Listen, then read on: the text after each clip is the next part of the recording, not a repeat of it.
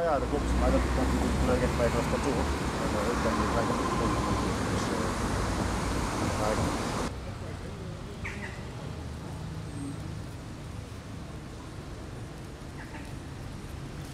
rijdt niet zomaar door Zundert heen. Nee, Dus nee, nee.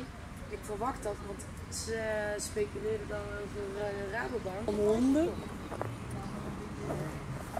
En dan zware stemmen. Ik denk, wat is het allemaal? Ja,